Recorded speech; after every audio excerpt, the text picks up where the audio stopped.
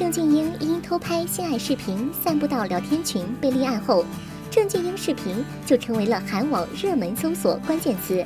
还有一份号称是受害者名单的郑俊英名单在网上流传。韩国警方今天宣布，将对网上的郑俊英名单以及郑俊英视频展开严打。这些资料的人以及发文所求资料的人都将面临法律严惩。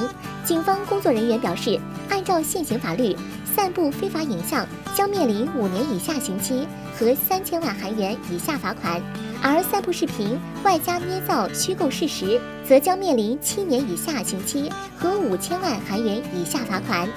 非凡娱乐实时报道。